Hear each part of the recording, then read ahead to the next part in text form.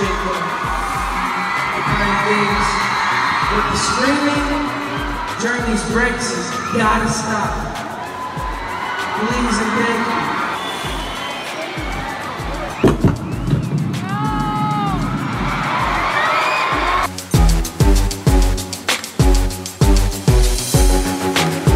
I travel across the whole world to come here, I dedicate my life to performing, I dedicate my life to try to bring smiles to people's faces. When I feel like people just aren't giving me the same respect back, it just kind of hurts a little bit. So that's all.